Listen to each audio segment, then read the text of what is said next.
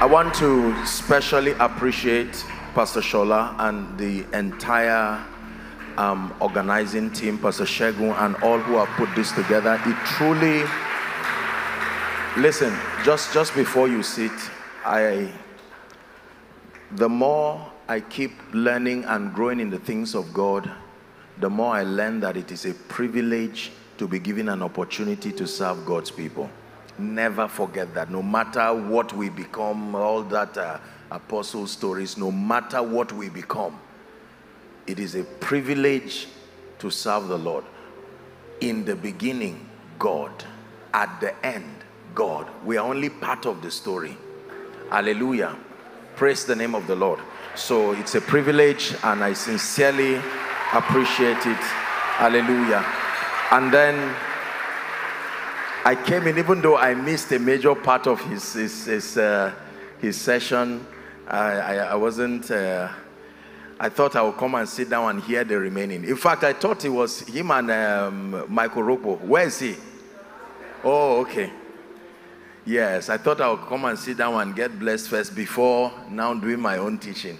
But the bit, five minutes or so, that I heard from what he said, I just said, This man, I hope that they understand it. Let me recap on one thing he said. He said, Praise now brings this lifting these open doors, and praise multiplies it too. Very powerful revelation. And truly, he's a man who knows what he's saying. God has honored him with the results that represent his knowledge and sacrifice. We honor you, sir. God bless you. Hallelujah.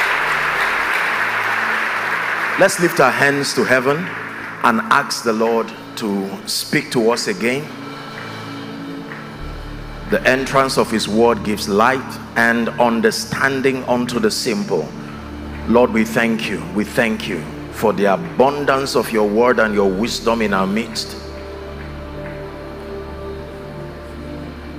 In the name of Jesus, we pray. Please be seated. God bless you.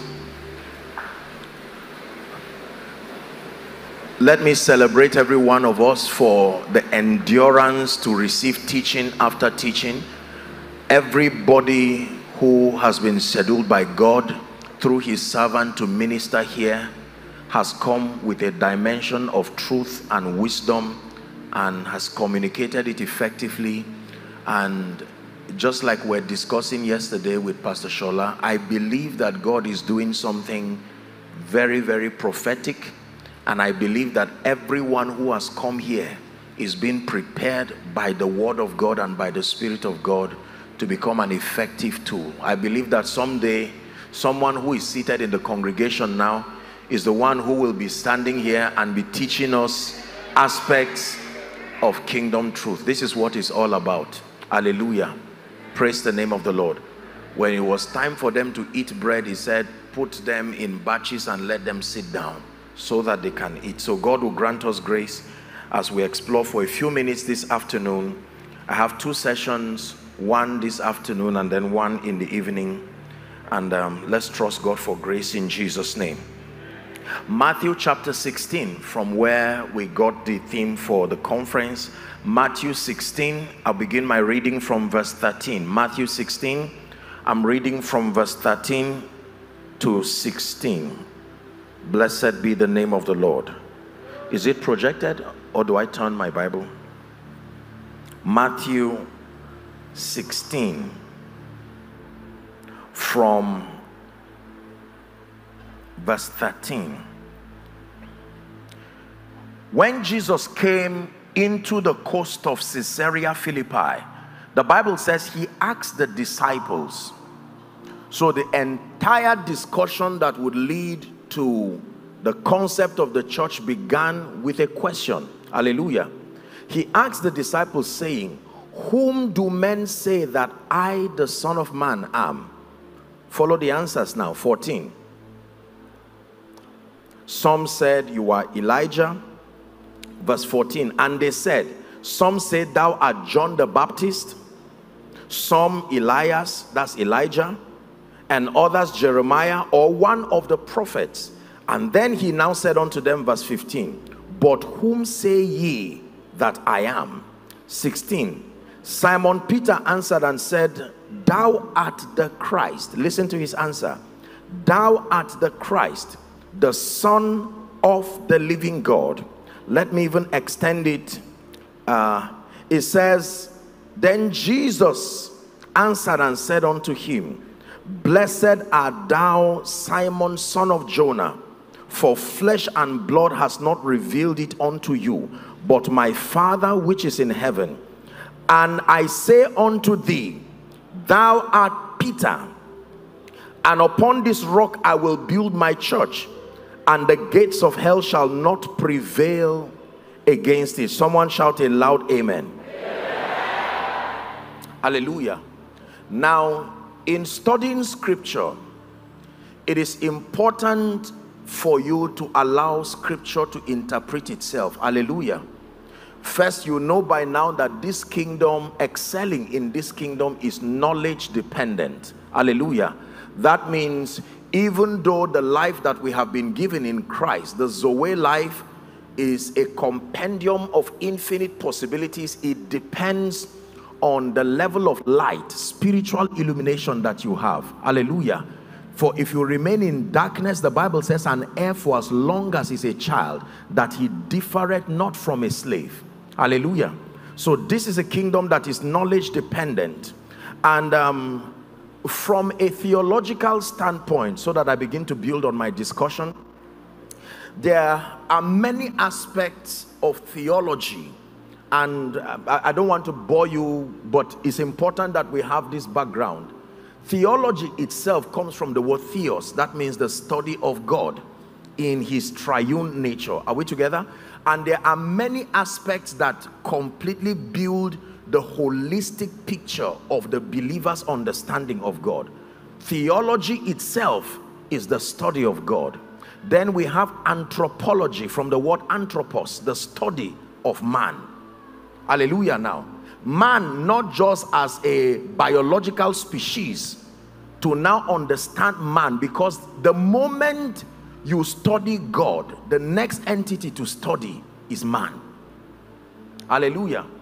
And then we have what we call soteriology. Soteriology is the study of the entire expanse of the salvation story it is important that you understand soteriology and then you have what we call Christology. Christology is the study of the man, Jesus Christ. You study his pre-incarnate nature, his incarnate nature. Are we together? His earth walk alongside his the whole activity up until his resurrection, his ascension and his enthronement. Then we have what we call ecclesiology the church came out as a result of that which Christ has done. So there are three aspects of theology that you would need to study holistically to understand these kinds of statements. Number one is Christology. You have to study Jesus himself. Number two, soteriology, the study of salvation. And then ecclesiology, you have to study the church. Hallelujah. So this discourse started with a question. Jesus said, Who do men say that I, the Son of Man, am? And they started saying, You are one of the prophets, and so on and so forth. And then he said, Okay, who do you say that I am? And all of them kept quiet except Peter. Peter said, I know who thou art. Thou art Christ, he says, the Son of the living God. So let's examine a few things. Number one, the entire discussion started with an issue of perception and revelation. Hallelujah. The entire discussion started with an issue of their perception and their revelation. Jesus was probing into their perception and their revelation. Who do men say? What do they see me as? What is their idea of me based on my background, based on the antecedents around my life, based on the miracles they've seen, what is their perception and what is their revelation of me? This is the first thing that we, we capture in this scripture. The second thing that we capture in this scripture is that Peter spoke by revelation. The Bible does not leave us in the dark as to the fact that Peter was not speaking sensually. Peter's response was not an issue of intelligence. Peter's response was not an issue of experience. Peter's response was an issue of revelation. He says, I know who thou art. Then the third thing we find out in this scripture is Peter's answer. Don't forget what we're discussing. Number one was an issue of perception and revelation. Number two, that the answer that Peter got was outsourced from a realm higher than this dimension. His answer did not come using brain work. He says, I know who thou art. Are we together? And now the answer is what is very important. He says, Thou art the Christ. Thou art the Christ, comma, Son of the living God. This is Peter's answer. So Peter is attempting that question. Who do men say that I am? Who do you say that I am? And he says, I know who you are. It has been given to me by revelation. Thou art Christ, the Son of the living God. The third thing we observe from this scripture was the response of Jesus. Notice, in response to that answer, Jesus first blessed him. He says, You are blessed in other words, you have truly been empowered. I see the evidence of an external empowerment upon you. It says, You are blessed because you have received this revelation from my Father who is in heaven. That means it is impossible for you, even though you are human, this kind of result does not come from humans. I, the, the, your speaking reveals to me that you have aligned yourself with the Father and that your communication is not of yourself. Are we together? And then he says he blesses him for receiving it, for rising above and beyond the realm of flesh and blood. Because he said flesh and blood has not revealed this. That means to understand Jesus as the Christ, you must rise beyond the realm of flesh and blood. Are we together? And then Jesus now makes a very profound statement. That's the next thing we observe from that scripture. Very profound statement. Please give it to us. Um, Matthew 16 now and um, verse 18. And I say unto thee, this has been a theological debate for many, many years and decades. But please pay attention.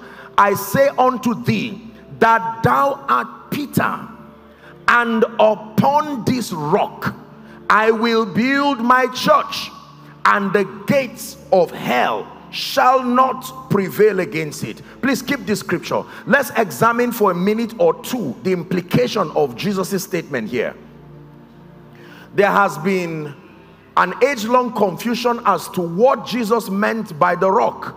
Other people would say it is Peter because it comes from the name Petros or Peter, which means a rock. Hallelujah. And other people have said the rock means Jesus himself.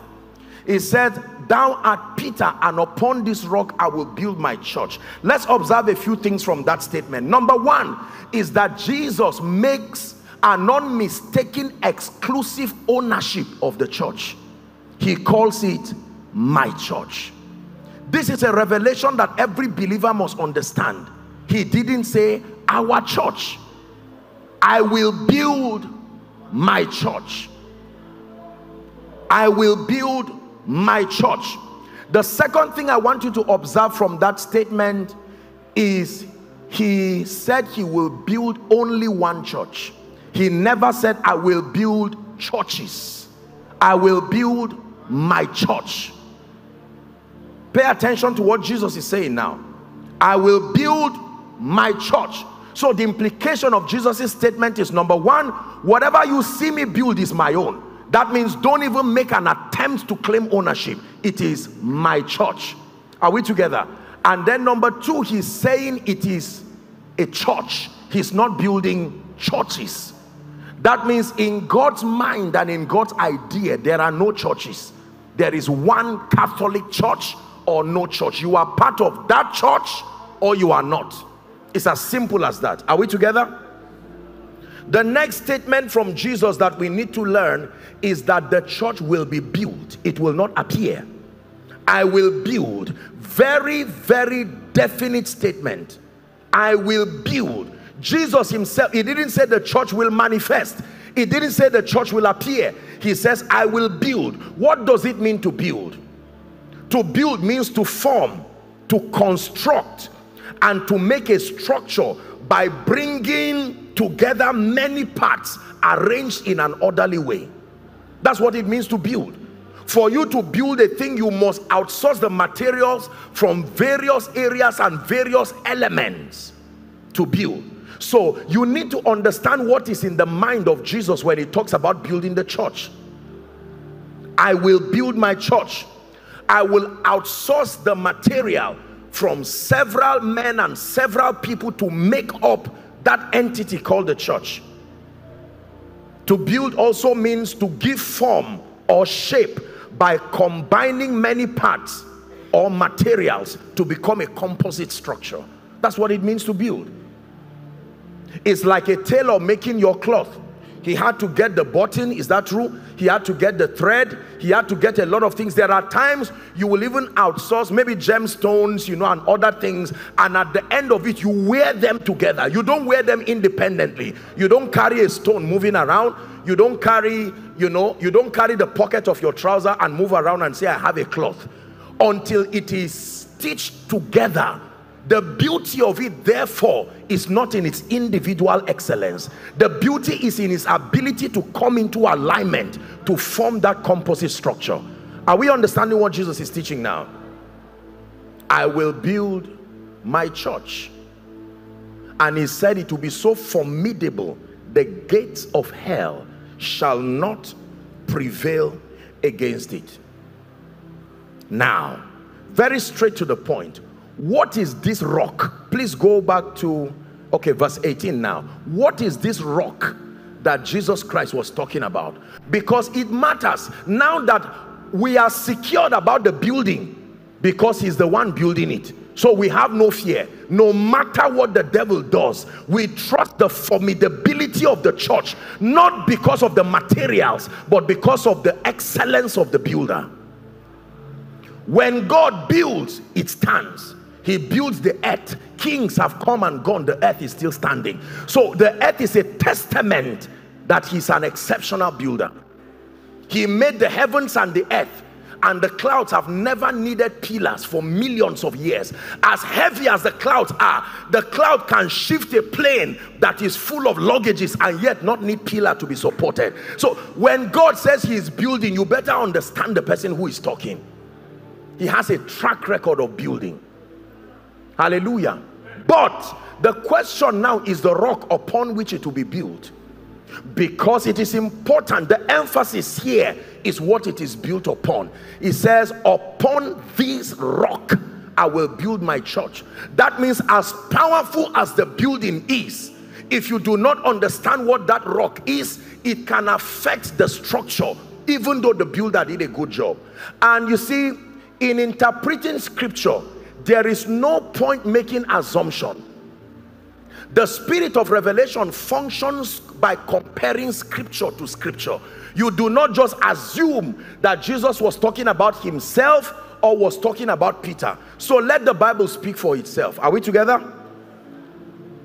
What is that rock? Matthew chapter 7 please. Give us from verse 21 the same jesus is teaching. Matthew 7 from verse 21 here's what he says not everyone that saith to me lord lord shall enter the kingdom of heaven but he that doeth the will of my father in heaven we're reading to 29 verse verse 22 now. It says many will say in that day lord lord notice the names that he's called. Have we not prophesied in your name and in your name we have cast out devils. In your name we have done many wonderful works. His reply i will profess unto them i never knew you. Depart from me ye that work iniquity. Now 24 therefore listen carefully now. Jesus is teaching. He's talking about building. Whosoever heareth these sayings of mine and doeth them I will liken him upon a wise man which built his house on. Jesus himself is talking to us now about building and about the rock. And he said when it has to do with building please back to 14 or what's what's the verse where or 24 the, the, the verse before? Let me just make a point and then we'll go to 24 yes. Whosoever heareth these sayings notice there is no mention of building materials there. And yet he's talking of a building. Are we together? That the resources that is equivalent to this building is your hearing and your doing. Please pay attention now. Whosoever heareth these sayings of mine and doeth them i will liken unto a wise man. So what makes a man wise?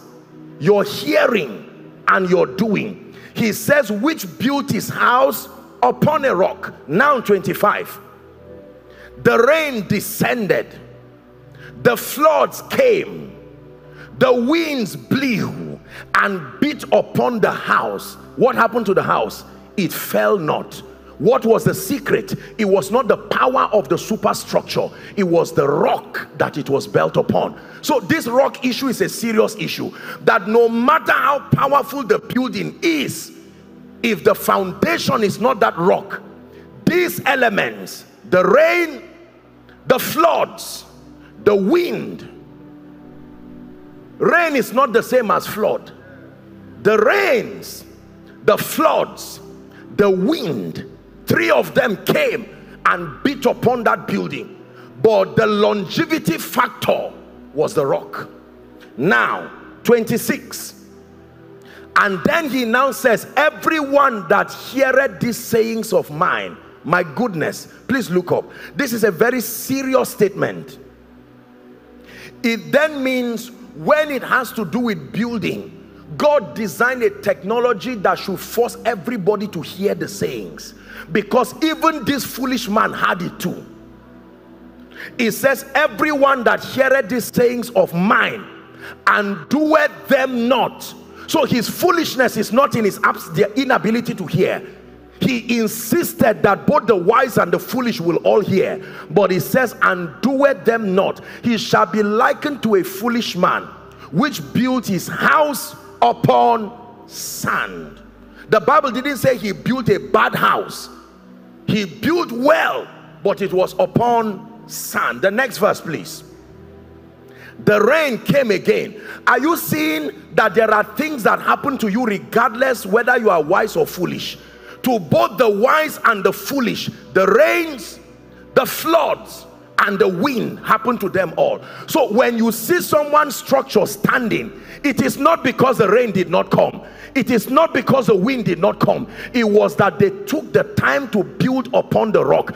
Praying that rain does not come flood does not come wind does not come. The bible already tells you that with respect to that building is a foolish prayer because these are realities that happen to men according to the law of time and chance. Are we together now? But that the advantage that that believer has is that one built on a rock one built on sand. Please pay attention and let God give us this revelation as we pray.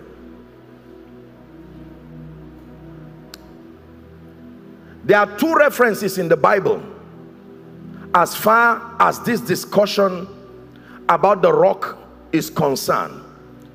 For starters the Bible already tells us that the one building on that rock is Jesus so the rock is not just Jesus alone because Jesus is the one who is building on that rock. Are we together now?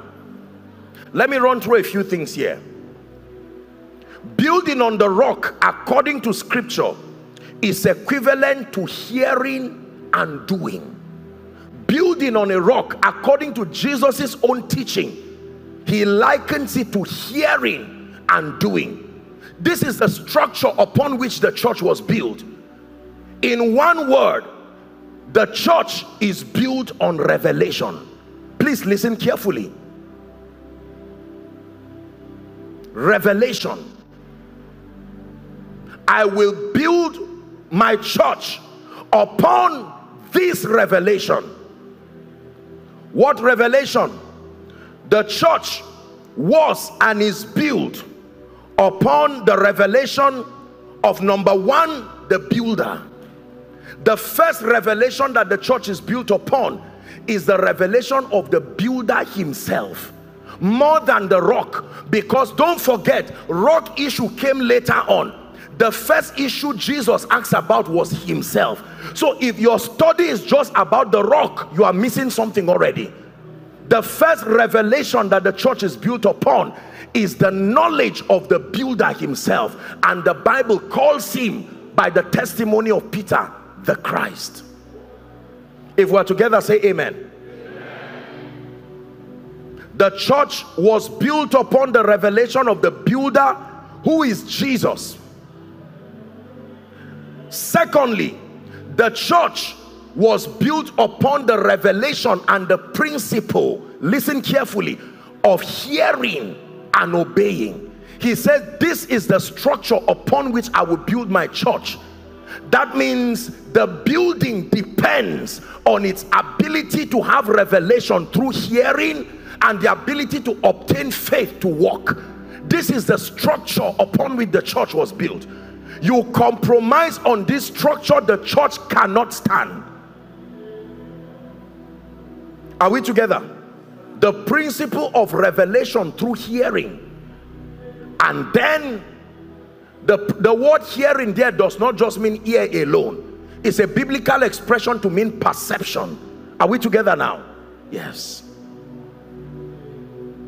Jesus's statement immediately I wrote here reveals how the gate of hell operate. Based on the statement of Jesus we can deduce how the gates of hell operate. Ignorance and disobedience that means the character of the gates of hell is that they bring an individual the strength of hell and darkness is ignorance and then the inability to comply. Because what made the second man foolish was not his inability to hear. He did not obey. Is someone learning please? It's important to get this foundation. You need to know how the church was built Jesus reveals how the gates of hell how it operates through ignorance and through disobedience. Let me make reference to the second um, the second portion of scripture that gives us an understanding as to what Jesus was saying. And then we now establish a few things and pray in the name of Jesus Christ. The second reference is Peter's sermon on the day of Pentecost. Please go turn with me to the, uh, the book of Acts chapter 2 because if Jesus commended Peter about his understanding of Jesus and used him in reference to the building of the church it is only wise that we probe into what Peter said after the Pentecost because it was him that preached that sermon. And I want us to examine for a few minutes what Peter said. Is someone ready for sake of time we'll jump scriptures. Please give us verse 14 then we'll jump to 21 to 24 then 32 and 36 pay attention now. Acts chapter 2 and verse 14 it says but peter standing up now they were filled with the holy ghost and people came and said these men are drunk with new wine. And peter is speaking in defense of that experience now. Peter standing up with the 11 lifted up his voice and said ye men of judea and all of you that dwell at jerusalem let it be known to you and hearken unto my words. Uh-huh. Verse um let's go to verse 21 now for the sake of time. Jump to 21 he began to speak to them this is that that which joel said. He now made reference to the psalms. By the time we get to 21 he said it shall come to pass that whosoever shall call upon the name of the lord shall be saved. Reading to 24 ye men of israel hear these words. Jesus of nazareth a man approved of God among you by miracles, wonders, and signs, which God did by him in the midst of you, as ye yourselves you know. Reading to 24, it says, Him being delivered by the determinate counsel and foreknowledge of God, ye have taken and by wicked hands have crucified and slain. 24. Whom God has raised up, having loosed the pains of death, because it was not possible that death should hold him. Jump please to verse 32 and then we'll end with 36. Verse 32, I'm jumping because of time. It says, This Jesus, not a different one, this same Jesus had God raised up, whereof we are all witnesses. Now, verse 36. 36 for time. Therefore, let all the house of Israel know assuredly that God had made the same Jesus whom you have crucified both Lord and Christ. Jesus is discussing about the church and he's saying upon this rock who do men say that I am? And Peter says I know who you are. I am the Christ. And then he says you are correct in knowing that I am the Christ as revealed to you by my father in heaven. He passed that test. He now goes to the next subject even though connected to what he was saying. He said upon this revelation what revelation? That for the church to be properly built there are two elements of the glory of the church that must be captured in that building. Number one the revelation of jesus as the christ number two the principle of revelation and obedience. Is someone learning now? So you must know the builder jesus the christ. Let's discuss that word the christ for one moment please. Because many people will tell you that they know jesus. Not everything about jesus translates to salvation. If you know jesus as the son of mary it has no effect in the realm of the spirit if you know Jesus as one of those, those prophets, it is just a theological advantage. But as far as the release of power and dominion is concerned, principalities and powers have never been subject. They have never trembled at the fact that Jesus was a prophet. Not everything about the revelation of Jesus threatens the gates of hell. But there, there is a dimension that must be captured in the believer's understanding. Is someone learning now? Jesus the Christ. The word Christ comes from the Greek word Christos. And Christos means the anointed one. This is where most people know. It does not only mean the anointed man, the anointed one. It also means the chosen one. And that's where I want to dwell. Because every time we talk about Jesus the Christ, the only thing we think about is the anointing and signs and wonders. And as that is wonderful the knowledge that you need is not just Jesus being anointed is that Jesus was that one who was prophesied about of the Father the chosen one. Is from the same Hebrew word that is translated Messiah. The chosen one not just the anointed one so this rock talks of the revelation of Jesus as the one chosen and then anointed by God to purchase redemption and to reconcile us to God. Please look at me. The foundation of the church of the Lord Jesus Christ must be on Jesus as Messiah, the chosen one and then the anointed one, anointed of the Father to purchase redemption and to bring reconciliation it is amazing that there are many churches today, respectfully speaking, and you will be surprised that the reason why the winds, the rains, and the flood seems to wipe away the program of God is because something is wrong with the foundation upon which the church is built. In many cases, Jesus is out of the story. Out of the story, his name is mentioned, but the revelation of Jesus as the chosen one, the Messiah and the anointed one has not been crystallized in the heart of the average believer. This explains the foundation for our powerlessness even as believers. Thou art Christ, the son of the living one. When Peter, listen, when Peter and John went to pray at the hour of prayer, they saw a man at Gate Beautiful. Are we together now? He understood that revelation and he said, Silver and gold I do not have, but such as I have I give unto you. In the name, I have a revelation. It is a, is a commodity in the spirit. I can use it to purchase healing. He said, In the name of Jesus Christ of Nazareth, rise up and walk. And the man sat down there. The Bible says Peter held him. He was confident, very confident, this should work.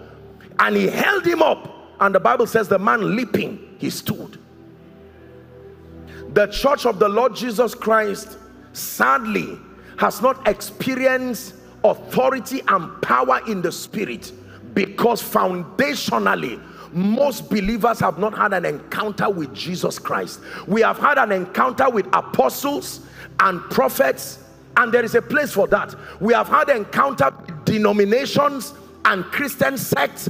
We have had encounters with conferences and men of God. We have had encounters with spiritual items like communion, like oil, like water, like handkerchiefs.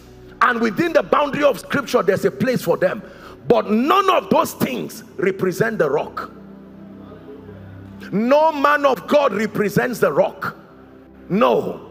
No oil or water represents the rock. No church building represents the rock. So something is wrong with the structure and the proof that your structure was built or not you can't assume because of the aesthetics of the structure whether spiritually or physically we will have to wait patiently until the rain comes. We will have to wait patiently until the flood comes. We will have to wait patiently. No wonder for the average believer in Nigeria and across Africa one disappointment and they say I'm tired of this thing. You see it tells the kind of substance and the nature of their building the apostles were people of power. They were people of grace even by God. Listen to the extent that some of them were persecuted and they died with joy. As for going back they said no our foundation is strong. Persecutions arose and many of them stood. When you study the history of the church in Nigeria and I have the privilege of coming from the north you see there are many dimensions of persecution that many of our fathers past and present went through and endured to emerge to what they are now it did not affect their convictions because the foundation of their Christian experience was not church not titles, not membership, not money, not rhema, not anointing. They started their journey correctly with the revelation of Jesus. The disciples who walked with Jesus, when it had to do with his passion, do you know even Peter who Jesus commended, Jesus had to pray for him because all of them ran away. Your knowledge of Jesus is what defines your stability in the faith experience the revelation of Jesus Christ that you have many believers shout like Peter Lord I will stand for you and let something just happen with their job. Let something happen with their marriage. Let something happen with their children. And the kind of Christianity we advocate right now shows that the moment there is anything wrong usually people oh God you have failed me. If you are faithful why do I not have a child after five years? I will go and outsource power from somewhere else who do men say that I am? It says, thou art Christ, the son of the living God.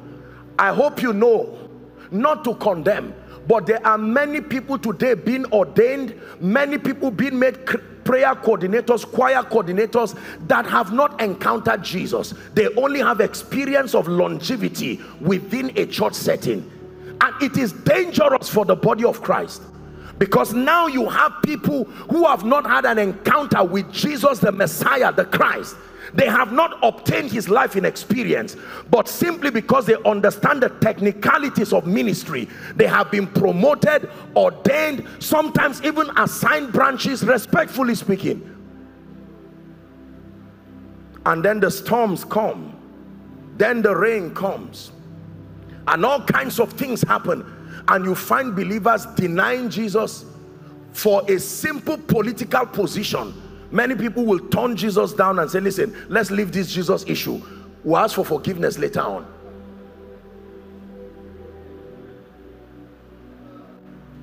I've made up my mind to go God's way the rest of my life. I've made up my mind to go God's way the rest of my life when we started out with God the desire was never to become men of God. The desire was not to be anointed. The desire was not to be conference speakers. It matters what motivates the entire scope of your spiritual pursuit. And i'm saying this respectfully speaking even to the younger generation coming because we need to redefine our motivations there are people who have failed in life or your family members just say, I believe in you. Go and manifest the kingdom. And people just do a lot of spiritual things and all that is at the back of their mind is let me become popular or let me become famous by fire by force the most important thing is for my territory to acknowledge that i am there that may be well-meaning but it's a dangerous formation already once it is not built on the revelation of Christ as the builder. Do you know Jesus? Have you met Jesus? Some have met power. Some have met prophecy. Some have met gifts. Some have met ordinations but they have not met Jesus. It's been my emphasis for many people and we need to restore this. You will be surprised how that our children, you will be surprised how that our businessmen, they know Jesus as the founder of a religion. They know Jesus as the leader of those who will make heaven one day. They know Jesus as one who is loving and compassionate. And then they stop there. The disciples were not in ignorance as to the personality of Jesus and he still asks them that question who do men say that I the son of man am?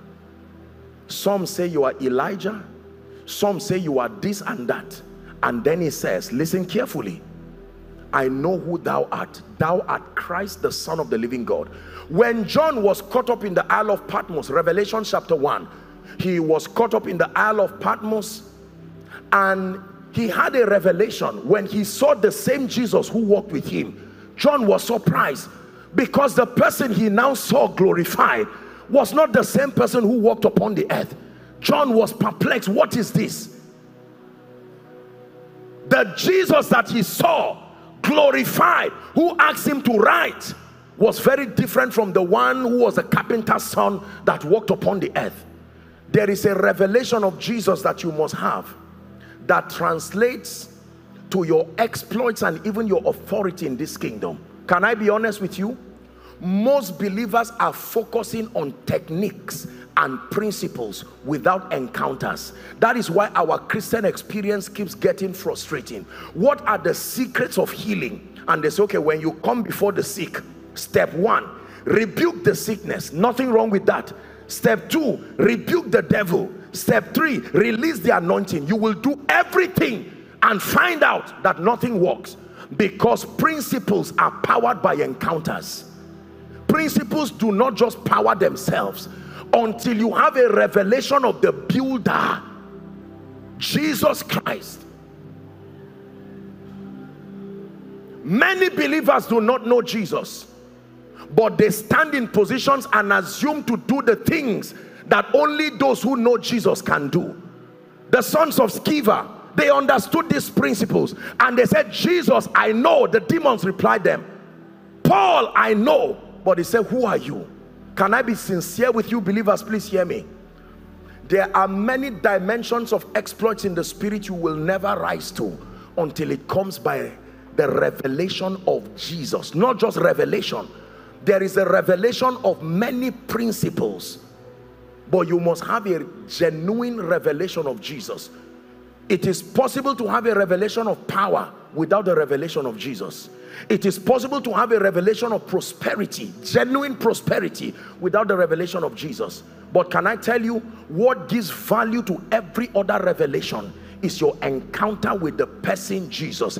Imagine you coming to describe my house You can describe the living room. You describe how my fridge looks. You describe how my cars look and you are not lying. But you do not even know me. Or you just know I'm the owner of the house and you are not interested in a relationship. Yet you want to eat every day in my house. Yet you want to use my authority. You carry my checkbook around. You stand in front of the bank and say look if you harass me I will sign a check of one billion. And the owner of it is watching you.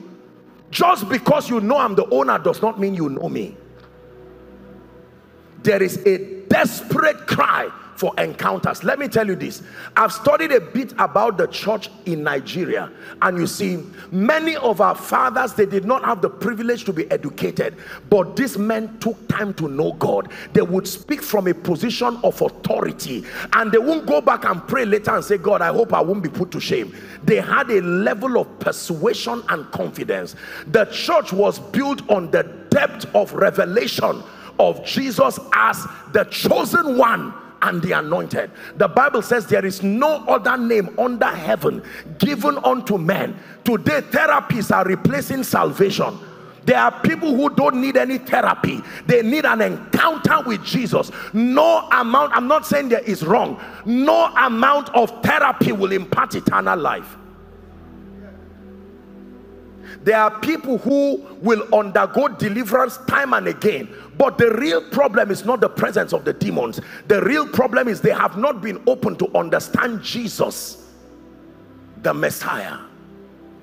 When the disciples had that understanding, it changed their understanding. And the Bible says, these are they that turn the world upside down. Please look up. The greatest experience in my life as a believer is not my encounters with the gifts of the Spirit it's not even all these wonderful things as important as they are that God has done in and through my life. My greatest encounters, you will hear me talk about them, is the revelation of Jesus to me. This is where my confidence to heal the sick comes from. There is a limit to which theory can teach you. There is a limit to which principles. There are certain things that are engrafted in your spirit. You can teach a woman about pregnancy, but when a woman gets pregnant, even if she never went to pregnancy school, there is an experience she has. If you cannot give it a technical description, you will say, Madam, you know how it felt. The things we have seen the things we have heard, the things that our hands have handled. The revelation of Jesus Christ. And then, listen carefully, when you encounter Jesus, the entirety of your journey in the faith life will depend on revelation and obedience. Please say revelation.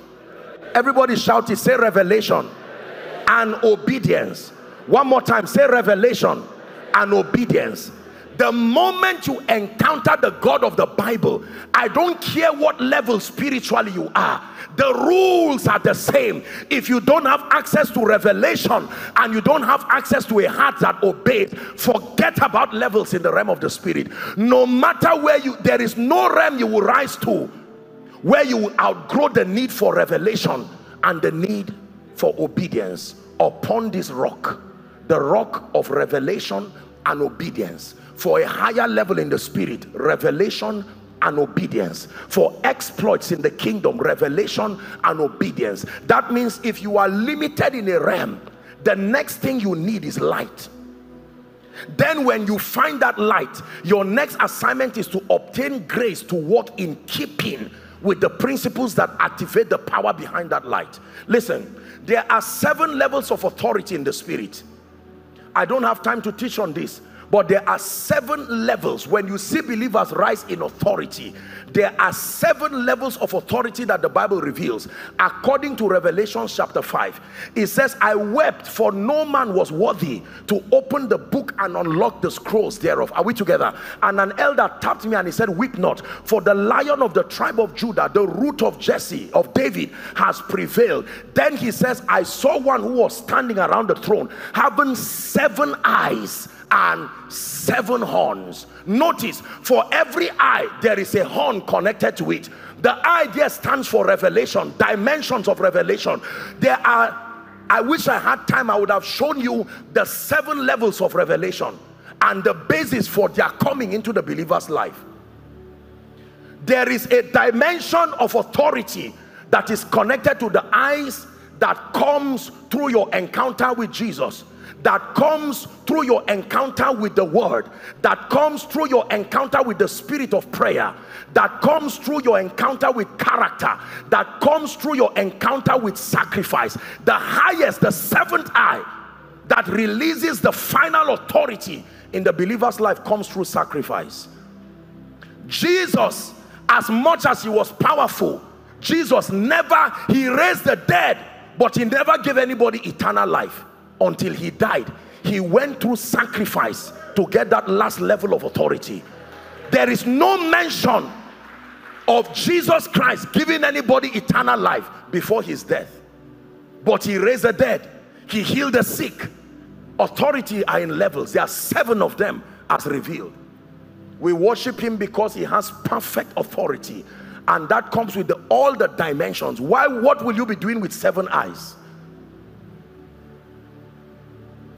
I know who thou art. Thou art Christ the chosen one and the anointed one. When you meet the God of the Bible when you encounter Jesus who is the son of the living God you have already gotten a sure foundation for your Christian experience. But the dynamics of your work from that time on would become your pursuit for light and your obtaining grace to obey.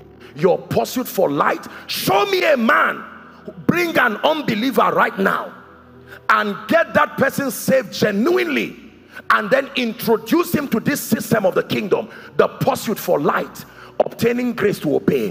The pursuit for light meet that man after five years.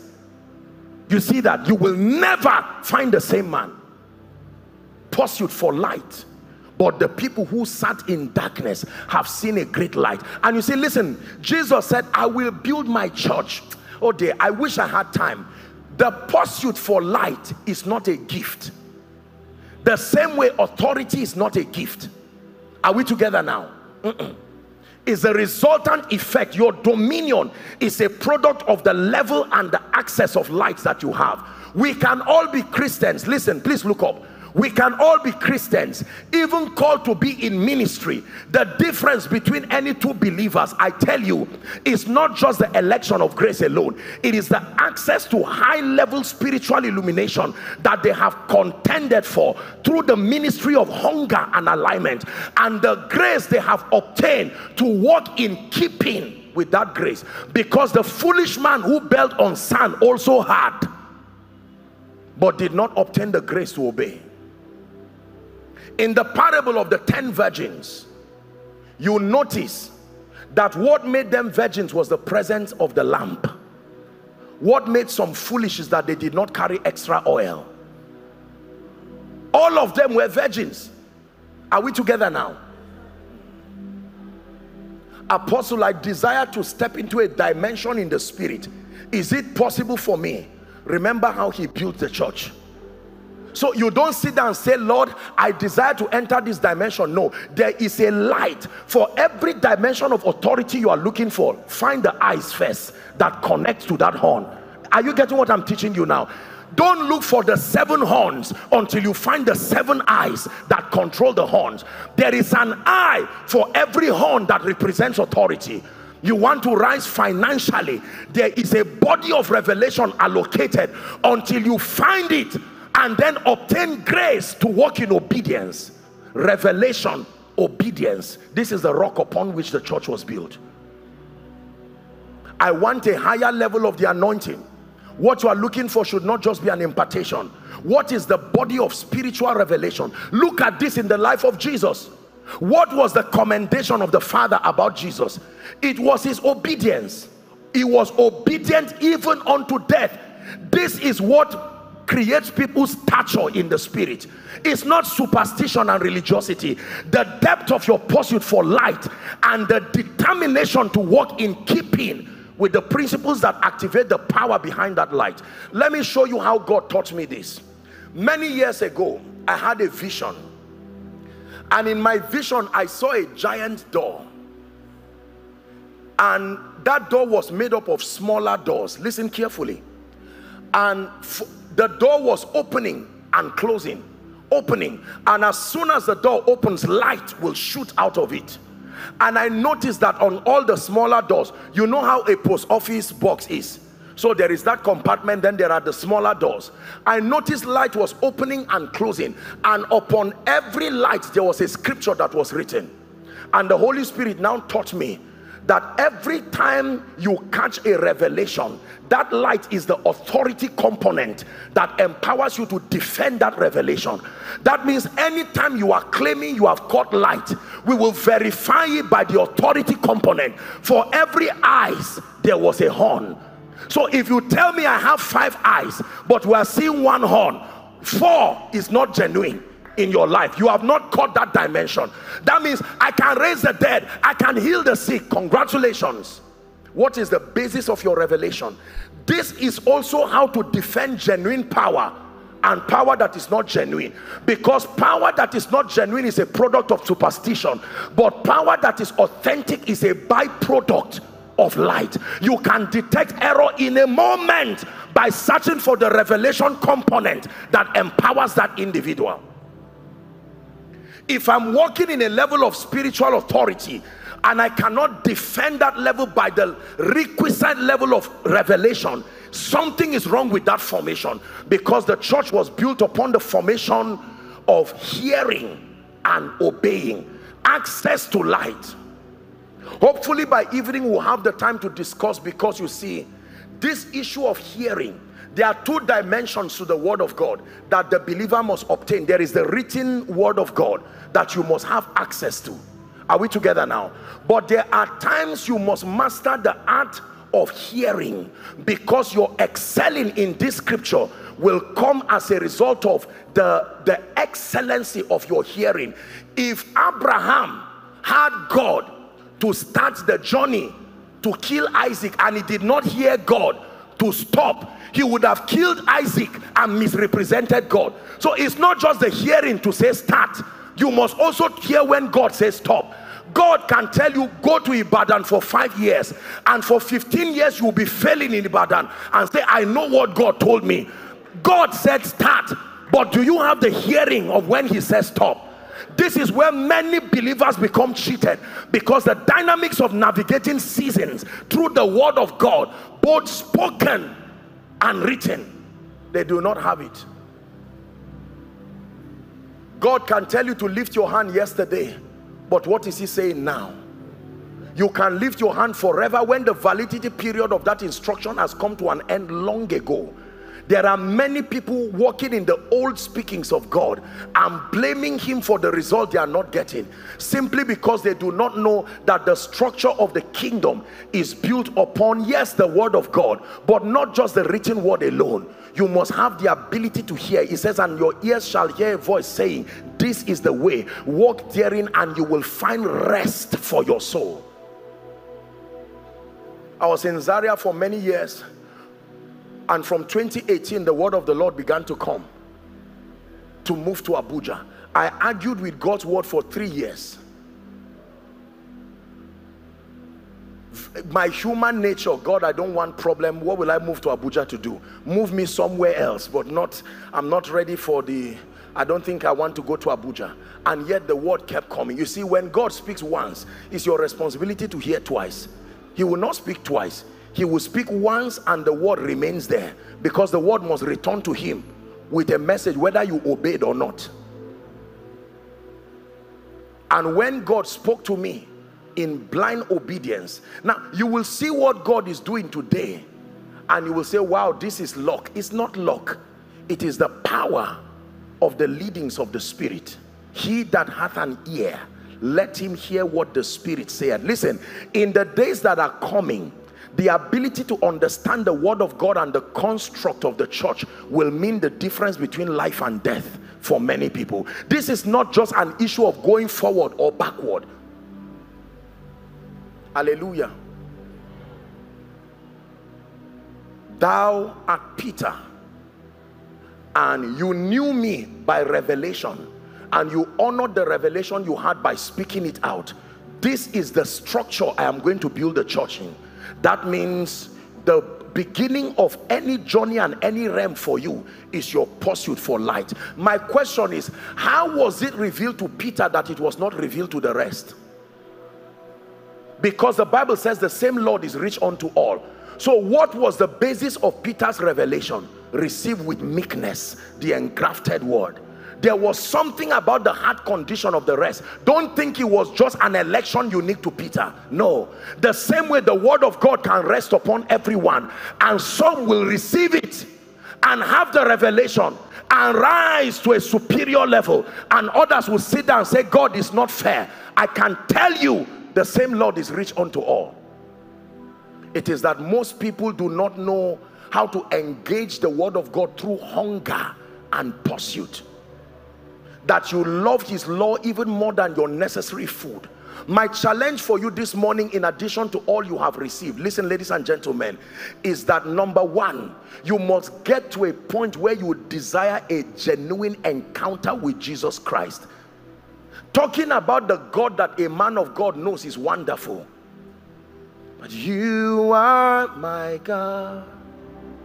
Until he becomes your god you cannot serve your generation you are my God.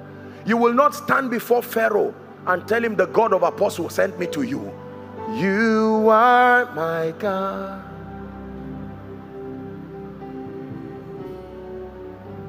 You are my God. There are things today I believed yesterday. I do not believe them again. Because when I met Jesus, he edited my understanding. There are things i do not believe yesterday but i believe today because i met jesus. There are things i believed yesterday i still believe today because i met jesus. There are things i didn't believe yesterday i will not believe them forever because i met jesus. What is the basis of your conviction? There is blind bold face in the body of christ that is not backed up by conviction I know whom I have believed and I am persuaded that he is able to keep that which is committed unto him against that day. We had the joy and the, the pleasure of being at um, Pastor Yemi David's building, magnificent structure. You see what God has done there, you will know that this one is more than money and architecture. You are truly on your own if you don't hear God for that kind of project. There are many daring things. Let me tell you the truth. When God talks to you, my brothers and my sisters, he will talk to you like he's talking to himself. He will say, my sister, go and feed 10,000 people. There is a prophet among those children. Make sure you feed them every day. As at the time God is talking to you, you will not even have a bank account and you will never talk about bank account. That's how God talks. He talks to men like he's talking to himself because you were created. That one of the ways you know is God talking to you is that what he said must make you afraid. You will you will know you will need a grace from him to believe what he has said. When what he tells you sounds believable, you had a demon. When God speaks to you, it will take his faith to make you believe it. Abraham, I will make you a father of nations. I will bless them that bless you. What kind of mockery is that? 25 years of barrenness and you are not speaking to me about a son. You are speaking to me about giving me the earth as an estate. That's God for you. Who is this King of glory? The Lord strong and mighty the Lord mighty in battle. Amen. You are this King of glory, the Lord strong and mighty, the Lord mighty in battle. Amen. Listen, many years ago, God would give me an instruction to organize crusades. You know what it means to go to an area to organize crusades in partnership with PFN as a young minister. And I'm saying, God, don't do this to me. What kind of embarrassment is this? Where will the money come from? A crusade is not a conference. Conference, you can borrow venue. Hallelujah. There are many instructions that God will give you he will speak to you based on the confidence of his ability that you know and his person that you know. If pastor shola right now tells you come and collect a car tomorrow you will call your family members and start rejoicing. You will not say let me wait in case he's lying because you have weighed him and based on your knowledge you believe that he's able to cheaply do that.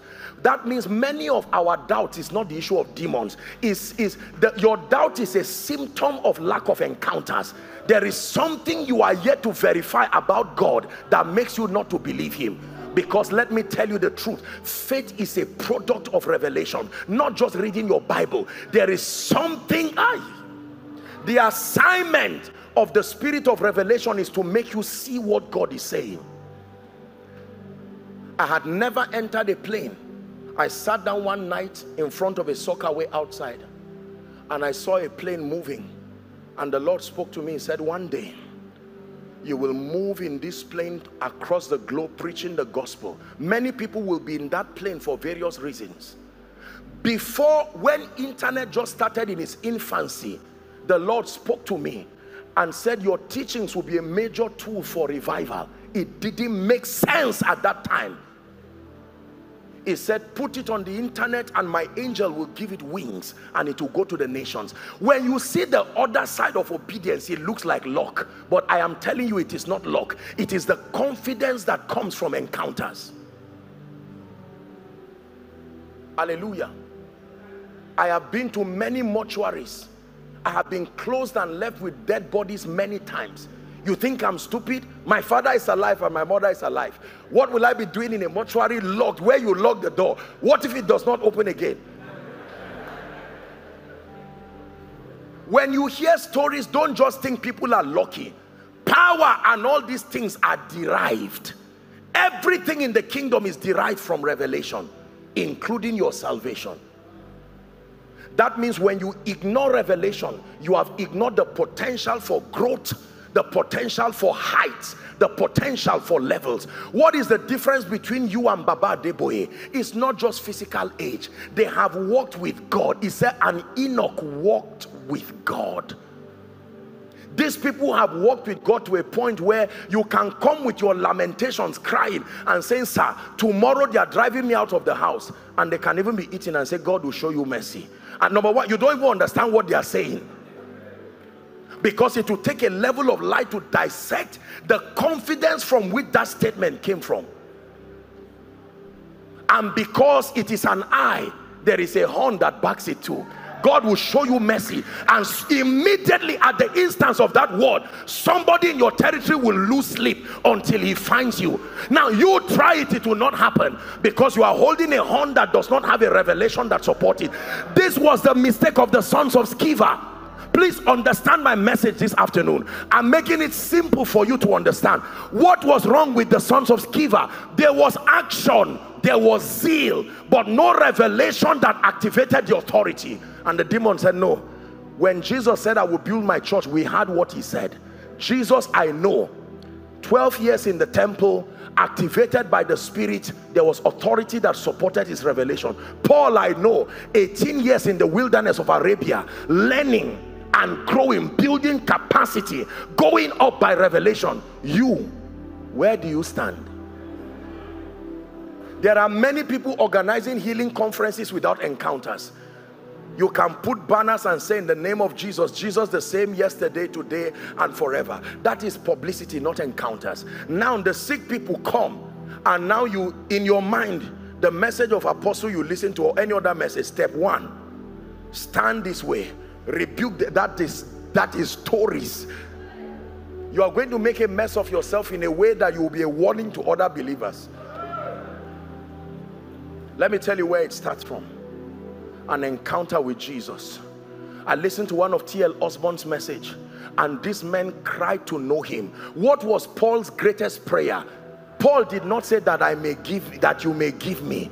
He said that I may know him. He understood the value of encounters. The average believer's prayer right now is give me. Paul said that I may know you. I know that when I have revelation, I've had the substance of anything I'm looking for. Let me therefore tell you how God lifts men. God does not lift men by giving them physical things. When you say, God, give me a new dimension, he will tell you that dimension you see is authority governed but for you to have access to it find the eye one of the seven eyes that connects to the seven horns. Those who know this bar they don't waste their time wishing things. They use light to navigate their ways through realms of power and realms of grace.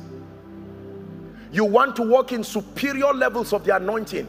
There are revelations that govern that outcome. You want to walk in favor there are revelations that govern that outcome. What is the difference between Aliko Dangote or Otedola and any other businessman? It's not the will of God.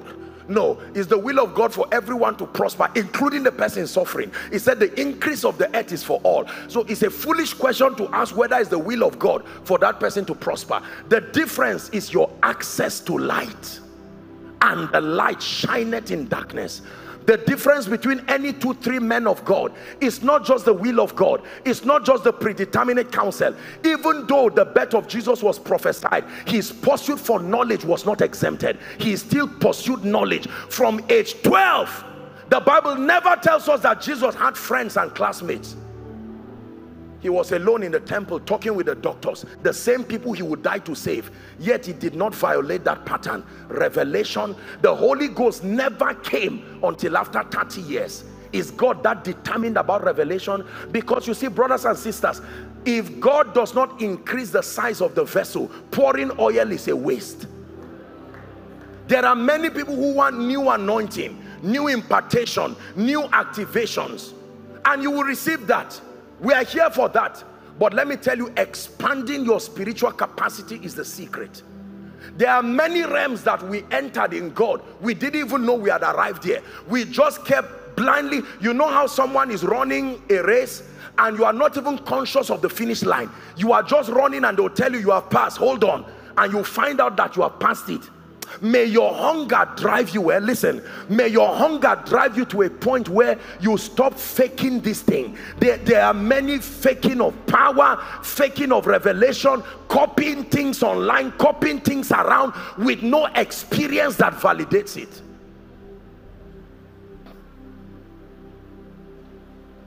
I am a man under authority. I say unto one go and he goeth. Come and he cometh oh i've seen this. And you run and meet somebody and the person tells you his grandfather was a wizard his father was a wizard. Even him he will tell you he was initiated. And you say in jesus name i release a word and i cast everyone away. You will be surprised that instantly you can have headache you cannot explain. After two weeks you can't wake up again. And you are saying lord but i saw it in the bible that i've been seated with christ and so on and so forth. It is true. Paul got it right but you must understand the dynamics. Having their understanding darkened ephesians 4:18 being alienated from the life of god through the ignorance that is in them. Please hear me. The strength of the gates of hell is ignorance and disobedience. The church is built upon these tripartite mysteries. One the revelation of jesus as the sent one and as the anointed. Number two that advancement in the kingdom at any level is a component of high level spiritual illumination that comes through hearing and seeing and then obtaining the grace to do. It says now that ye know these things happy are you if you do them. We will continue to admire people and even get angry.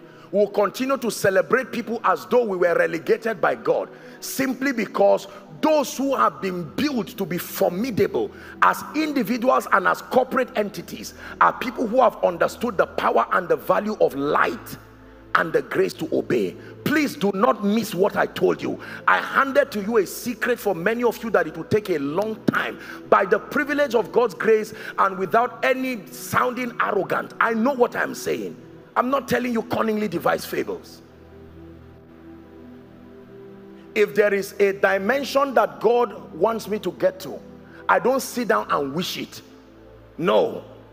I know that if I'm to rise to that dimension go back to the structure of how the church was built upon this rock. What is the rock?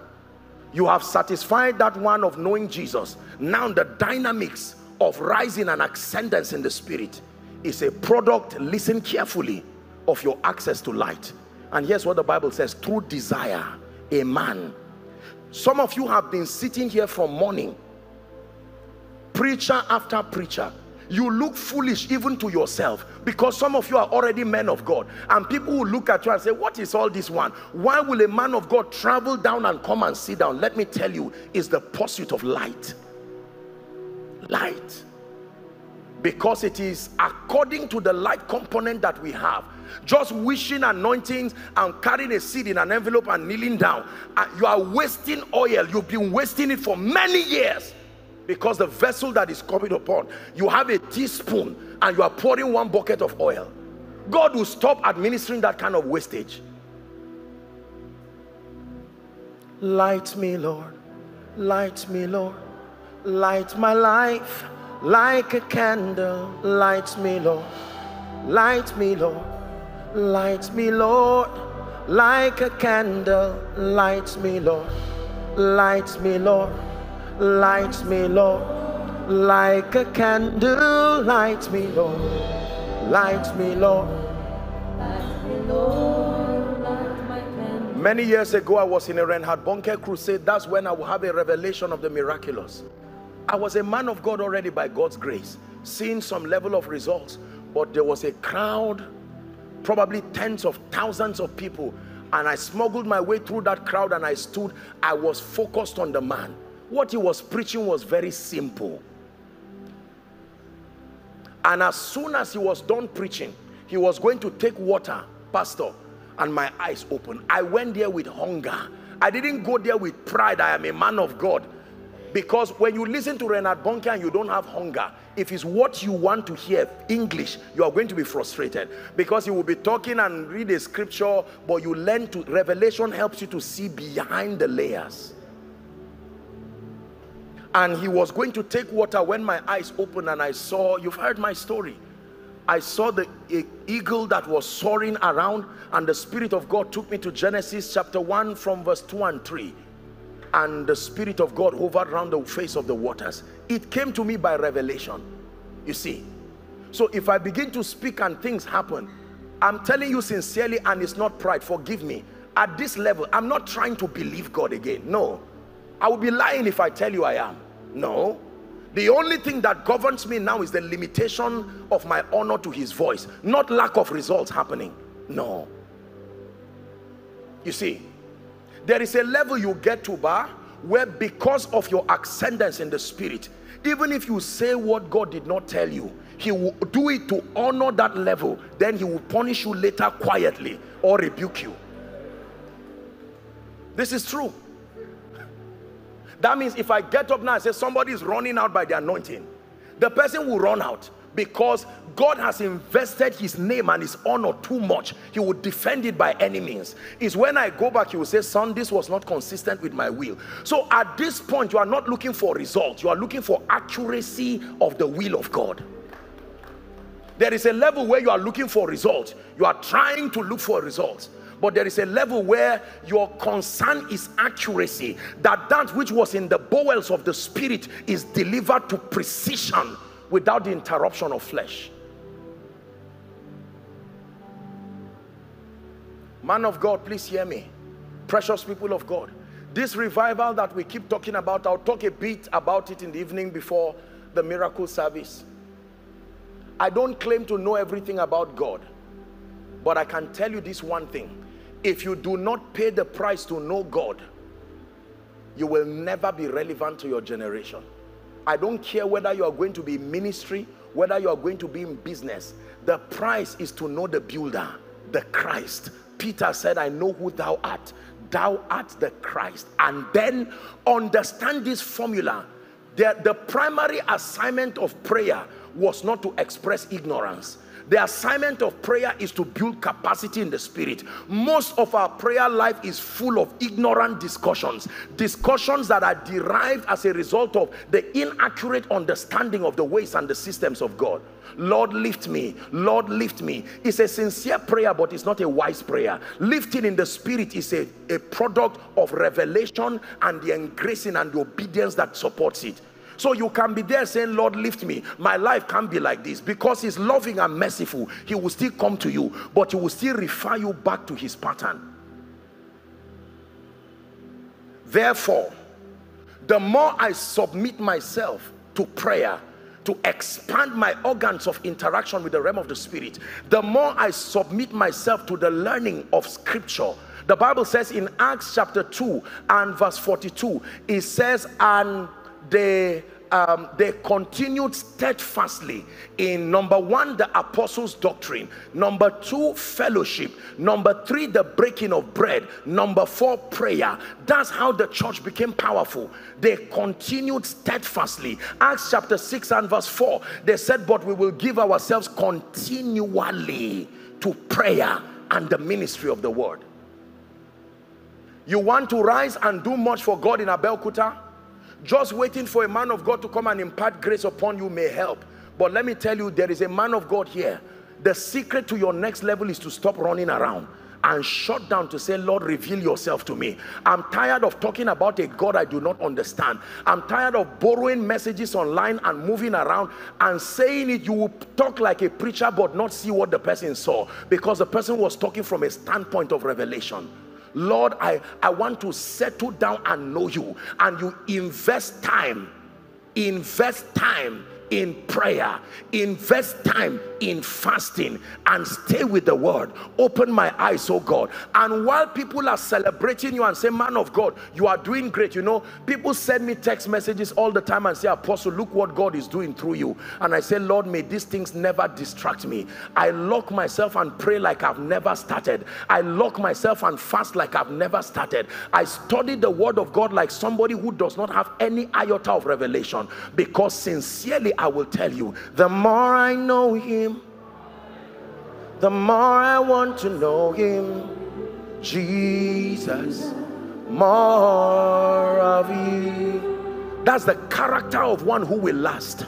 The more I know you, the more I want to know you. Jesus, more of you. this one thing I do, forgetting the things that are behind. For someone, God brought you for this meeting to tell you, you have been celebrating success too early throw this petty prophesying here and there and one word of knowledge one revelation and someone is there are heights and there are levels my brother. There are levels of authority in the spirit over territories and nations. He brought the guy with five talent well done good and faithful servant. I have made you lord captain over territories not over things. When you are still lord over things you are not going anywhere.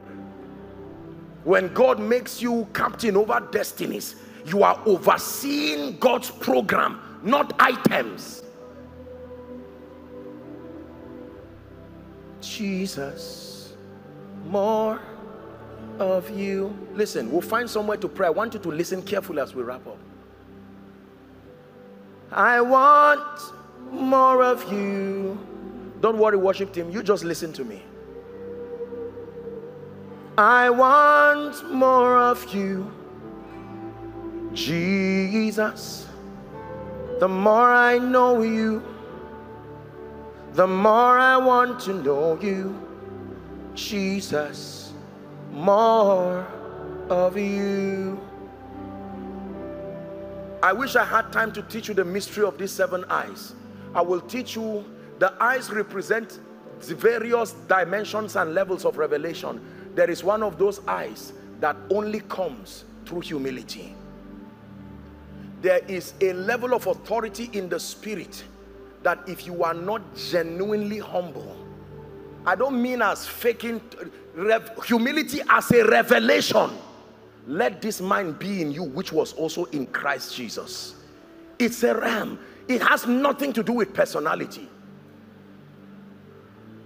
There are things that when we see it swallows up the little that we know and we are broken immediately so on one hand, while people clap and say, well done, man of God, you are doing this, healing the sick, raising the dead, doing this, compared to that height that you are attaining, until God grants us the grace to begin to structure the spiritual climate over nations, where you will stand as a single man and speak revival over nations. This is what some of our fathers did.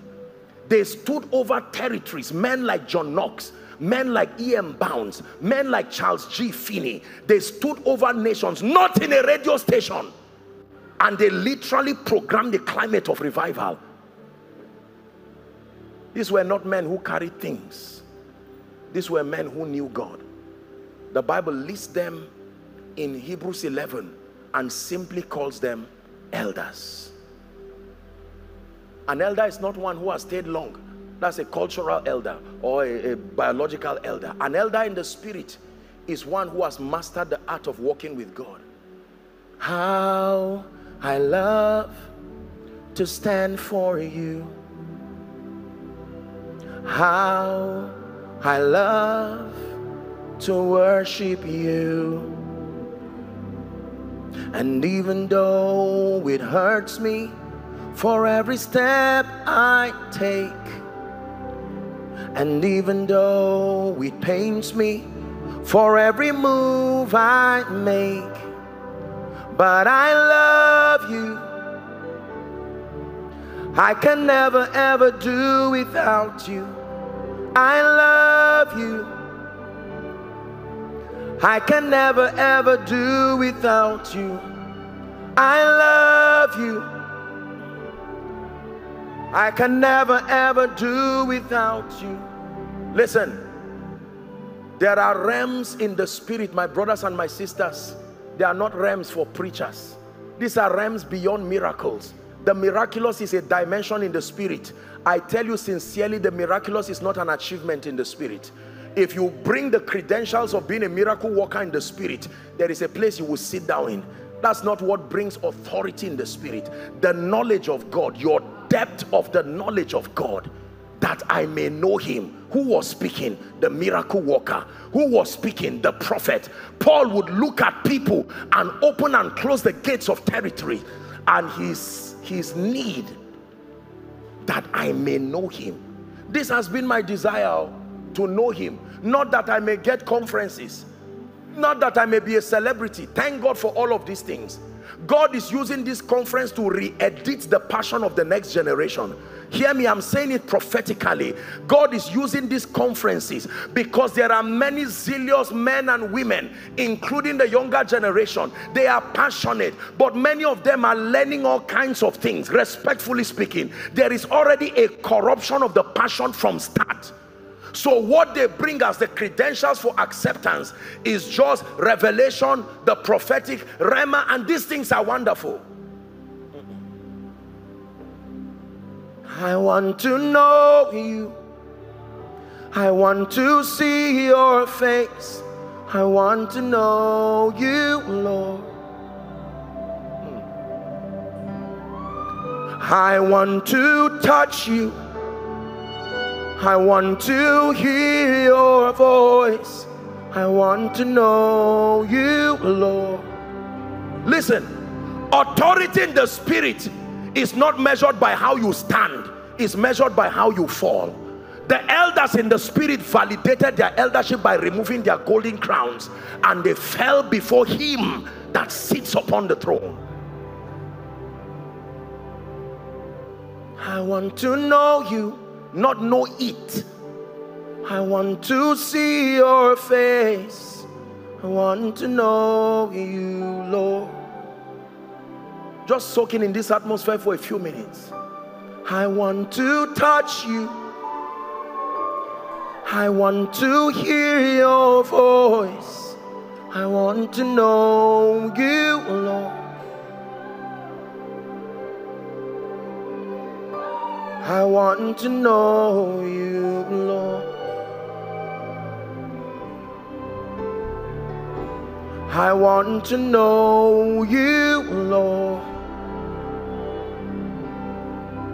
Take my body, my soul, my spirit, breathe on me. Take my body, my soul, my spirit, breathe on me.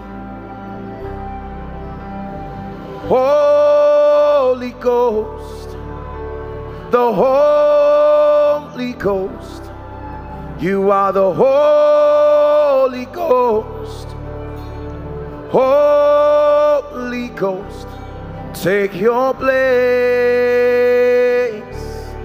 Take your place. Take your place. Take your place. Take your place.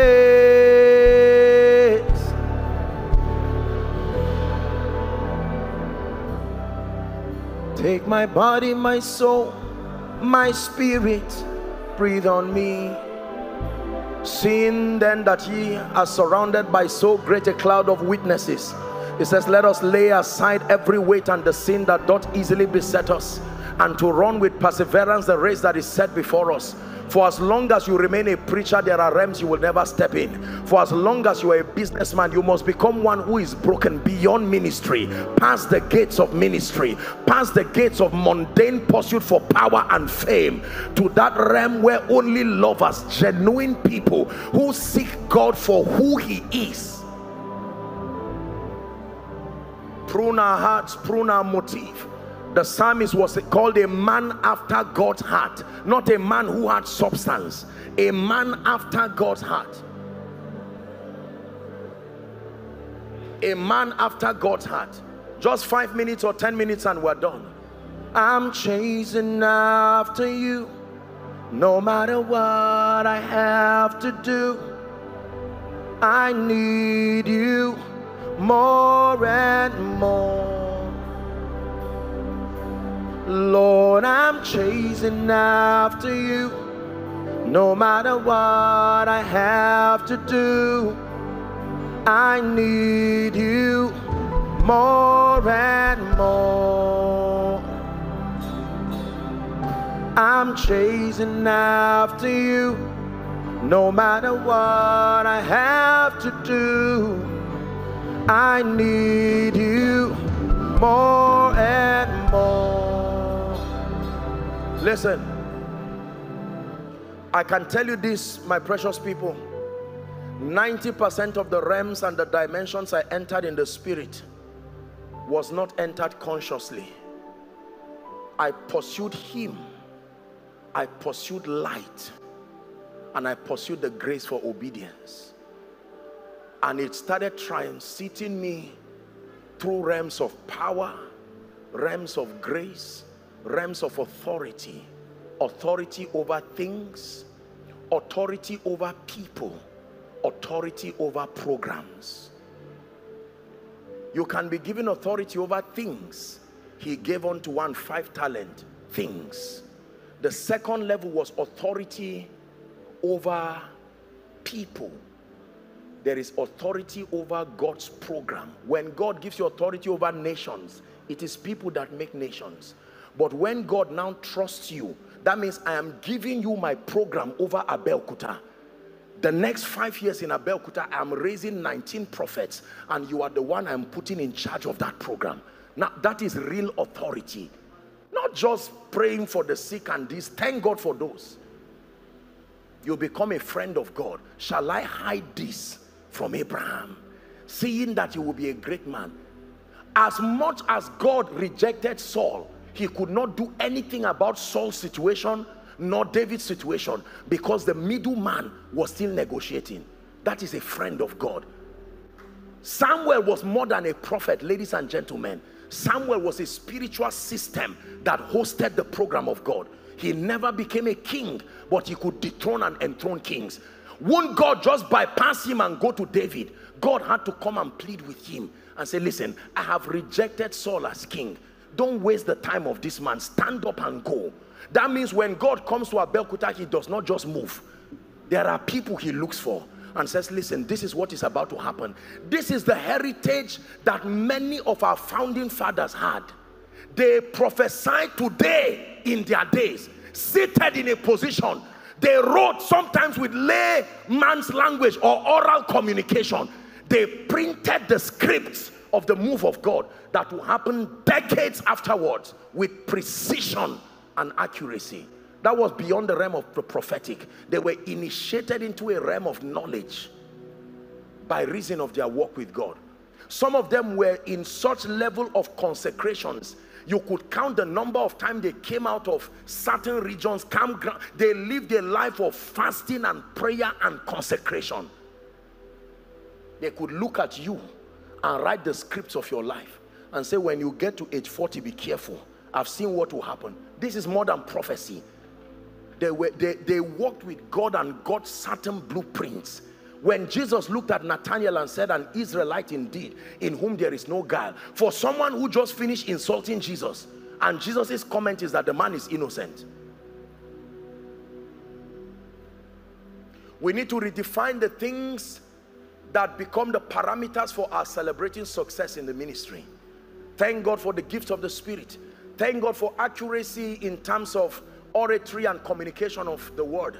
But let me tell you, those who shook the world were people who did not even have the comeliness to be desired. Read your Bible. Time will fail me to talk of Gideon and Jephthah and Barak. There are few men in the Bible whose exploits was based on certain kinds of physical things. Saul was a man of stature and a great man, very comely and to be desired. But when God was rejecting him, he did not consider that stature.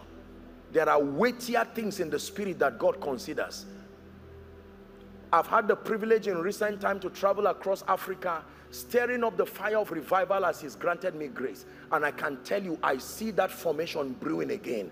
Abeokuta, God has come to you again and from Abeokuta to the body of Christ. Hear me. For some of you, you lost the fervency you received last year through carelessness. You are more focused in being an emoji and your small prayer group and competing with one another to see that, look, I think our prayer group has now expanded. All that nonsense is the recipe for aborting the move of God. Above and beyond those mundane pursuits, it must be a sincere passion to press towards the things of God. You have come here tonight to receive and you will receive. You have come here to receive miracles and impartations, but my charge to you is to understand that this rock we are talking about is not just Jesus alone. The revelation of Jesus as the Christ number one, but the understanding that our ascendance in this kingdom is light dependent. No amount of sympathy and emotions will corrupt this formula. Not even Jesus not even Jesus himself was exempted from this. You are where you are because of the limitation of your hunger for greater light. Genuine light. That was the true light. There are false lights. Lights that when you get it, you expect the authority component and it does not come. It is false light. But it says that was the true light that lighted upon every man. I was talking with one of the fathers of faith recently by the privilege of God's grace. And when he was sharing with me certain things, I just stood and I felt, I literally felt like a child. I said, it is arrogant and truly foolish for us to actually believe that these fathers were just lucky to be where they are. Most of the wisdom of the fathers is not in the pulpit. It's reserved in their bowels, waiting for hunger and honor to draw it out. Let me give you a real secret from accessing from a father. You will not find it in the sermons. You will find it through hunger and honor. It will take hunger to pull it out. The blessing was hiding in Isaac for a long time and he kept quiet watching Esau and Jacob. Just believing that people will spoon feed you with the weightier, deeper matters of the spirit is a joke it will take your hunger to love him more than ministry to love him more than titles and to recognize the investment of God's spirit across the body. You see that? We are equal in Christ but let me tell you an uncomfortable truth. We are equal in Christ because the same Lord is rich unto all but based on our sacrifices of alignment and the investment of the Spirit upon us as a response, it has separated us into different strata of spiritual possibilities.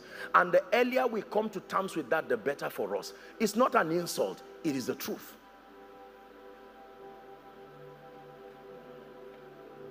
I know my level in the Spirit. I know where God has brought me. I know where God has taken the fathers. I will minister only to the degree of the level that God has given while trusting him to access light and wisdom from those who have it to be able to help expand my spiritual horizon. I will never fall into the temptation of pride to administer a jurisdiction that is higher than my level of grace. The things that are written aforetime, many have taught that part in the spirit and they became casualties because of it. An example was Saul. Saul, even though he was king, did not understand the power of jurisdiction and he went to offer sacrifices, not waiting for Samuel. He did it out of compassion, but he still was not spared. He said, Saul, you have done foolishly. Samuel spoke to him. He said, You would have done this, you would have allowed me to come, and God would have preserved your throne forever. But this day, your kingdom is taken away from you. The second man who acted arrogant like that was the grandson of Nebuchadnezzar. Remember, Mene Mene Tekel Upharsin. O king, you have been weighed in a balance and you have been found wanting. Let me tell you the truth. Ladies and gentlemen, there are levels in the spirit. And these levels are not seen by falling down and rising up. These levels are seen by the degree to which God trusts you with things, with people, and with his program. There are people who have left the level of things and for every dimension you ascend, you control what is below it too. Let me give you an instance. If Baba Adeboye comes right now, we're wrapping up. If Baba Adeboye comes right now, even if he comes without anything, because of the level of authority he has in the spirit, within 24 hours, a car will come, money will come. He does not have to tell people, I am around. There is a system that noises people are brought based on your authority. Learn this. When Jesus was born, there was a star that arose and the Magi, those who understood astrology, they saw it. They said, this is more than geography. Something is happening in the earth. There are people that step into territories and it is signified both within the realm of the spirit because of the authority that God has placed upon them. You can claim it, but when you have it, it shows authority over things. Because if you are not faithful in unrighteous mammon who shall commit to you the true riches? That means true riches is not things. When God trusts you with things that is the least level. Unfortunately that is the level of our pride in the church. I have a car I have a church I have a structure things. The next level is where God commits to you nations. Another word people there are people who are greater. It's an insult. Things, no. They are involved overseeing the spiritual growth of people, nations. The highest authority I know of is when God commits his program to you, a portion of his program. Go and read the Bible. When God was going to destroy Sodom and Gomorrah, he had to branch to Abraham. This was more than things. This was more than people. Abraham already had things and people, but he said, Abraham, this is my program. What do you think? Abraham said, God, wait. Don't move yet. I have an interest in that place and your program too will suffer. Do you see how these men worked with God? They would talk with God and say, God, don't do this. Moses would negotiate with God and say, if we will not go down, how do how shall they know we are people who are separated? And the Bible will say, God repented is it not in your Bible? That means when the devil is programming a climate of darkness upon the earth, and in Abeokuta, there are people who will be praying, but God is waiting for somebody. The person will say, Lord, this is what the devil wants to do, but I stand by the reason of this position and I stop it. Do you think when there was hunger in the land, other people did not pray?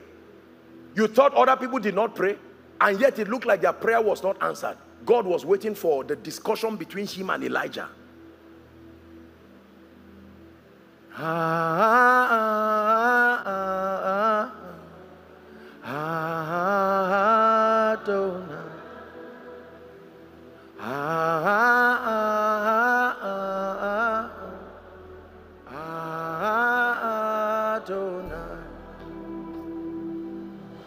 Could it be that God put in, in this meeting in the heart of Pastor Shola, Pastor Shegun, all those who have put this together is because God is saying, for the next 10 years, I'm beginning to do something in Abeokuta. But who will go for us? Yes, there are pastors and they are all respected to the degree of God's grace upon their lives. But could it be that in this season, you will be surprised that God can organize a program that has 10,000 people he will bless everybody but he's looking for three people. There are three people god can extend a program by two more days because the last person he's looking for did not come. That's how meticulous god can be. He left and went to gadara to find one man delivered that man and went back.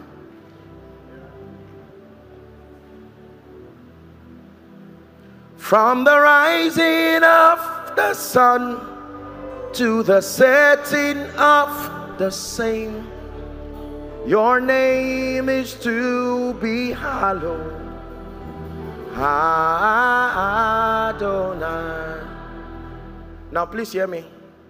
Tonight is a miracle service but there is something I want to share with you still connected to this about the move of God and the apostolic structure for the move of God coming. I've been having a lot of encounters in the last two to three months and based on the authority of scripture the wisdom of the fathers and even what God is showing us the body of Christ must be guided to understand the structure and the formation of God's program so that we can maximize what it is. Many people waited for the move of God without preparation and it came and passed and they lost it. He said the sons of Issachar they had an understanding of the times and they knew what Israel ought to do. As a result, God made them captain even over their brethren. Hallelujah. So we're going to pray for the sick, yes. We're going to minister to people, activate all the graces that need to structure the body of Christ within this region to be effective. That is part of the apostolic mandate. However, let me tell you, deeper than all of this, I came like John the Baptist making a clarion call. Abeokuta, the body of Christ. Don't think God has had enough people. God is still looking for men. There are many preachers. There are many prayer warriors. There are many fasting giants. There are many apostles and prophets, but God is still looking for men. You need to find out the kind of man God is looking for. If you can have the time and God grants you the grace, please, I want you to search for a teaching that I did in a conference Pastor Shola's conference, the vessel, the mandate, and the strategy. Please look for that teaching and listen to it. Listen to it with all your heart. Is it all right if we pray? Please rise up on your feet.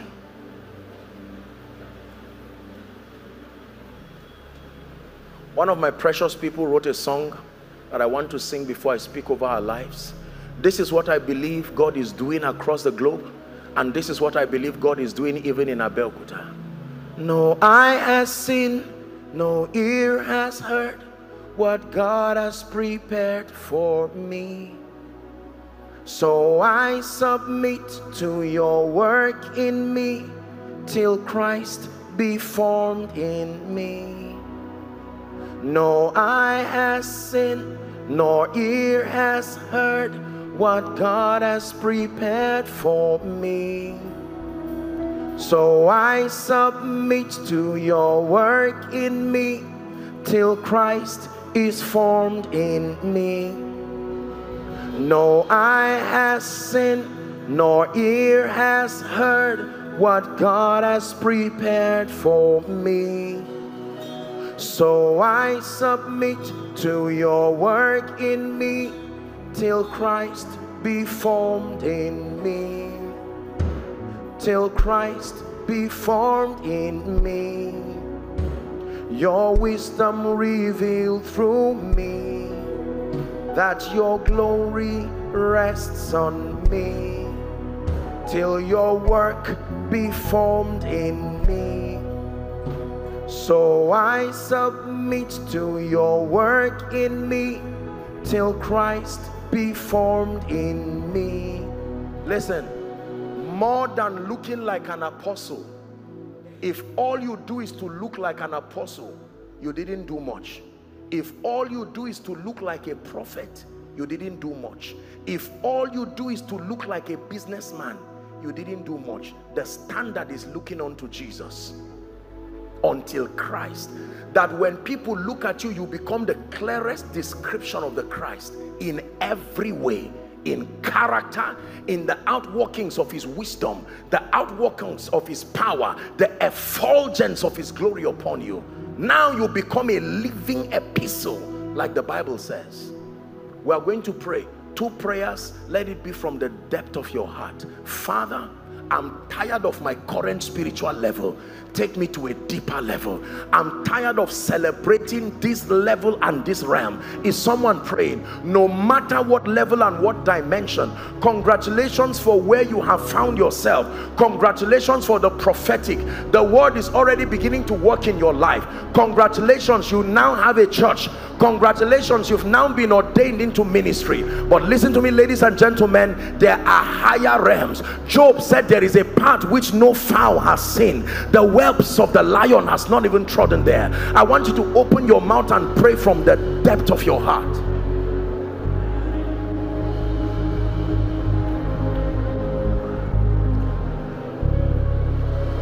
Greater dimensions. Greater level of trust of your power your grace your wisdom higher levels of authority and dominion in the spirit. Someone is praying purge my heart oh god. Purge my motives. Purge my motivation. Reorder my perception. Correct my ideas. No matter how long you have held on to age-old wrong ideas. Lift your voice and pray. Correct my ideas and my perceptions.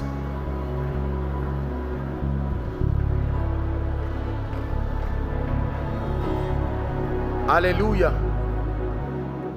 Last prayer point. And I saw before the throne a lamb as though it had been slain having seven eyes and seven horns seven dimensions of revelations that control the seven levels of authority that God has earmarked for the believer. There is no man I know on earth who has accessed all seven. The only person that has, uh, has accessed all seven is Jesus Christ himself that I know. That's why Paul said, though I speak with tongues of men and of angels, he began to describe dimensions we have not even come close to. Paul himself, he tried and tried to get to that level but even him he was limited. But the bible says listen very carefully that there is a body of knowledge that has been preserved for a generation. It says you are a chosen generation and a royal priesthood a peculiar people. And what makes you peculiar is that you have access to this body of truth the bible calls marvelous light. Marvelous light. Light above and beyond even the generations past. Not because we are pressing more than them god has so chosen by his predeterminate counsel to grant us access to the eyes of the spirit. We are going to pray. Lord the level of revelation and illumination that controls the next phase of my spiritual experience grant me access to it. Go ahead and pray. Grant me access to it by the spirit. Please pray. Please pray. Pray for the sake of your church. Pray for the sake of your assignment pray for the sake of those who are under you. The level of spiritual illumination the level of light and wisdom that controls the various phases of authority that I must access in order to administer the purposes of God I obtain grace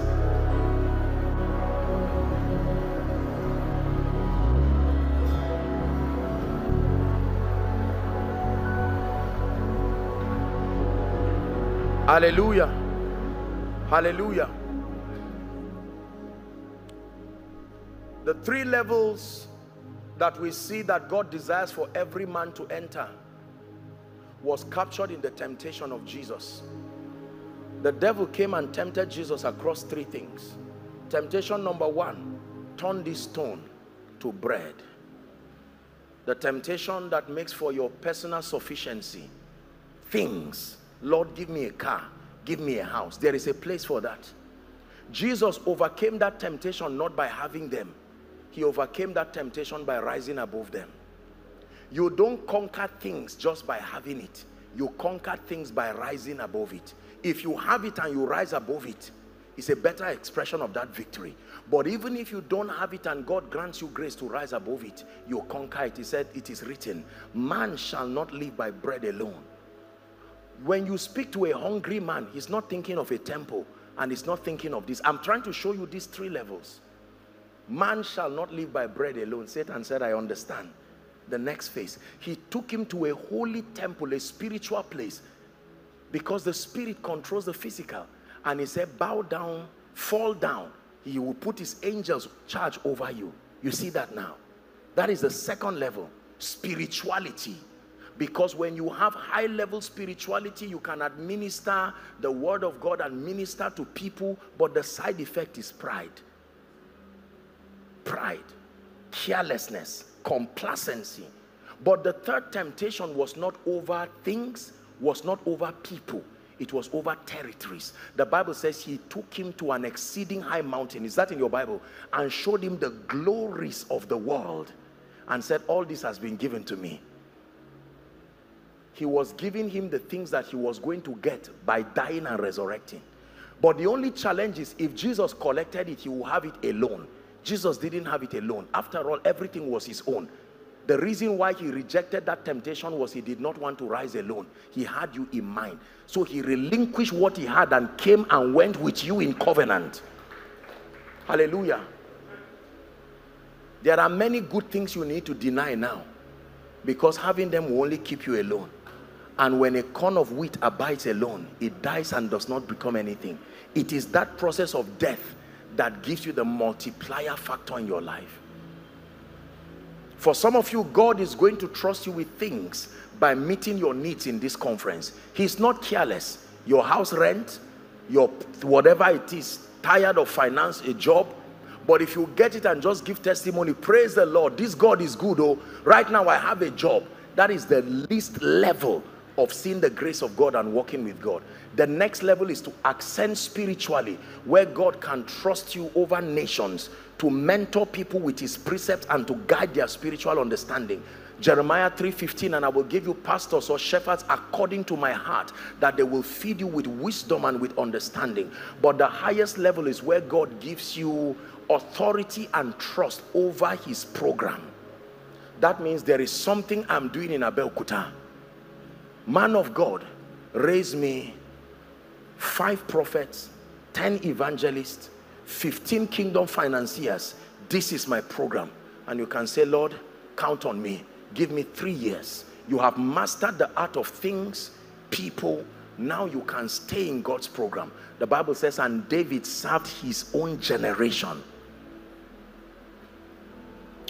Father, we thank you for all of the speakers who brought your word from the throne of grace from early this morning even up till now. Thank you for their lives, their sacrifices, and the wisdom that has proceeded from their walk with you. Thank you for that which you have taught us right now, even by your spirit. Lord, I am praying that beyond the words of a man, your spirit will begin to mold within us the character that reflects Christ in truth. I pray for you in the name of Jesus that every level that you are, may God himself measure a thousand cubits and take you higher by light. That everything that has swallowed your passion for spiritual things your passion for light your passion for illumination either pride complacency carelessness arrival mentality i erode those distractions out of your life. In the name of jesus christ. And i plant in you a fresh hunger as though you never knew him before in the name of Jesus Christ. I also prophesy over your life that the prophecy connected to your life for this generation will not be aborted. In the name of Jesus Christ. A final word before I return to my seat. Please make sure you invite everyone. I'm lending my voice with pastor and the organizers. Please invite everyone tonight and let us share fellowship with the Lord. The Lord bless you and honor you in Jesus' name.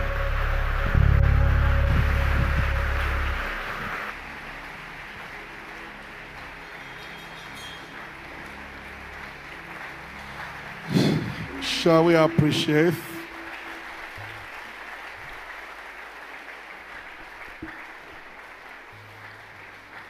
When the glory falls, There's no what to say. You know that song? Let's appreciate God for, let's just thank God for Apostle, for Apostle this, this afternoon.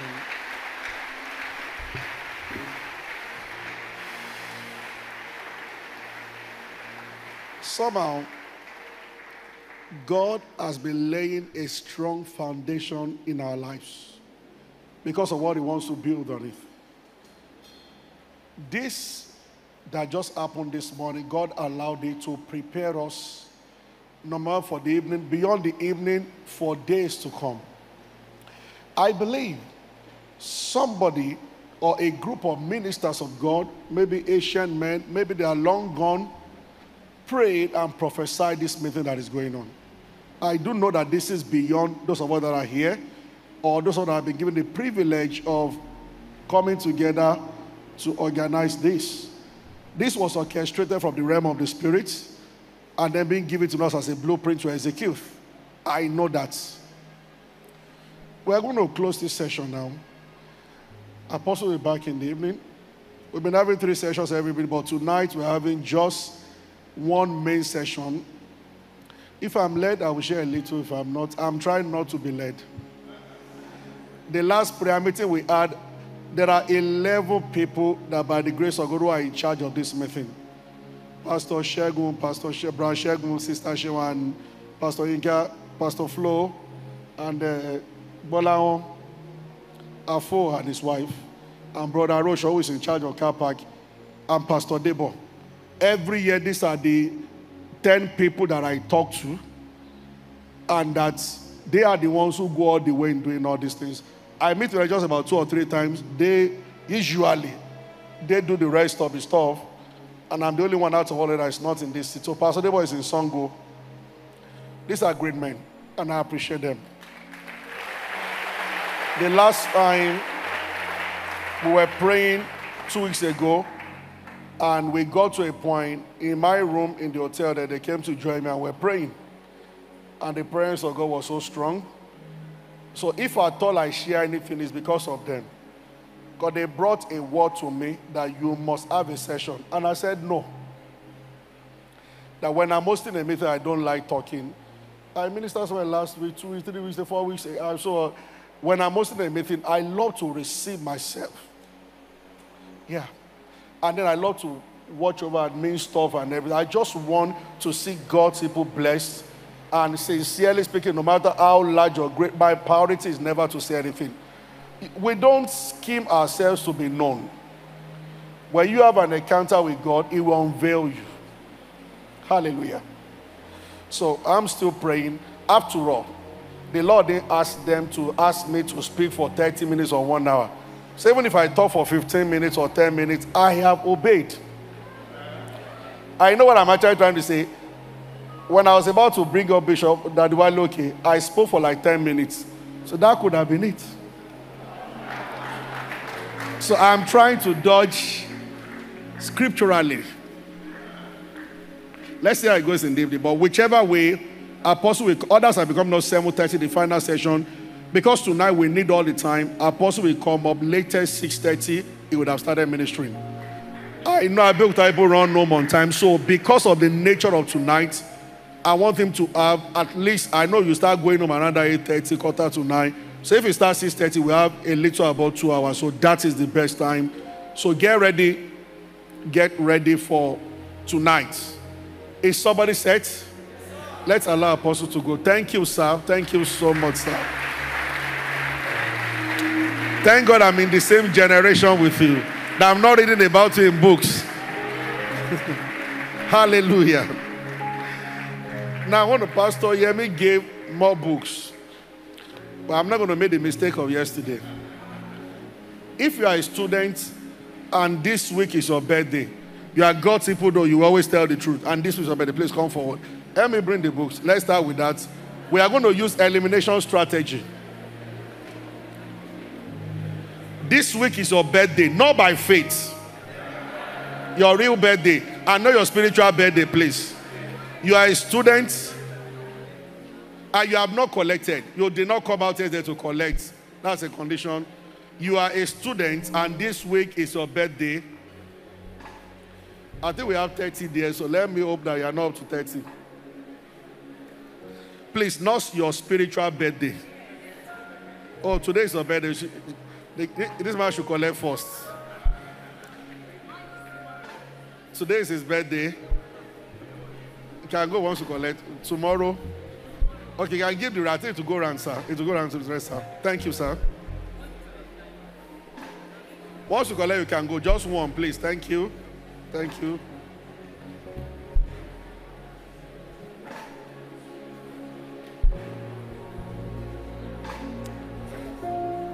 Sir? See this. How many? Okay, we give out that. We have CDs. Okay. Okay, we give that to another group.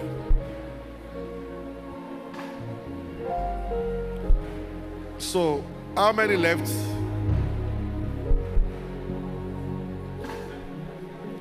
If last week was your birthday and you are a lady, come. And you are a student, a lady, that's uh, this one, no man, please.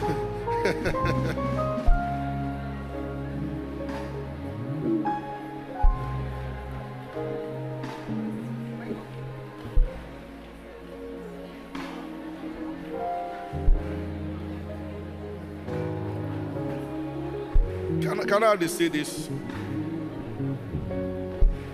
Okay, let's start with. Okay. If you didn't receive, please come. We can get a CD. Now, if your if next week is your birthday, you can join them for the CDs. Next week, your birthday, please come. So next week's your birthday.